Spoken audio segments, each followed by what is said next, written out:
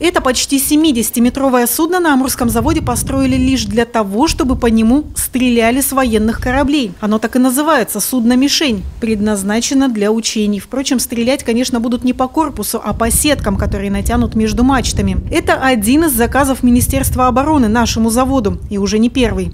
Таких заказов больших 68 метров построено в прошлом году и сдано флоту три единицы.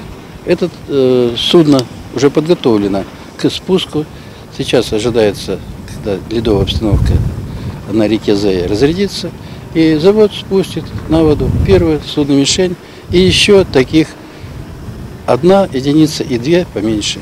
А самый высокотехнологичный заказ на сегодня – это два гидрографических катера для Тихоокеанского флота. Суда начинены сложными электронными приборами, которые будут замерять и через спутник передавать данные о температуре воды, течении, скорости ветра и многом другом. А помимо того, внутри имеются все условия для экипажа, включая даже сауну.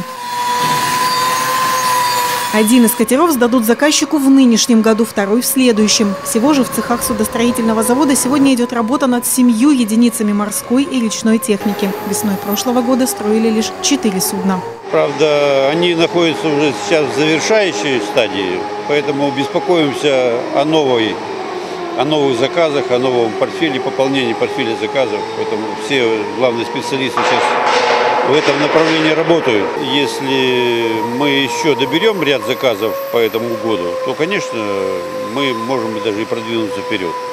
Вперед по сравнению с прошлым годом, когда предприятие впервые за долгий срок получило прибыль, обновило оборудование и повысило зарплату сотрудникам. Кстати, помимо своего основного продукта – кораблей, завод сегодня готов производить и любые металлические конструкции для города. Скажем, остановочные павильоны и уличные турники. Оказать ему в этом поддержку обещал исполняющий обязанности градоначальника во время своего недавнего визита.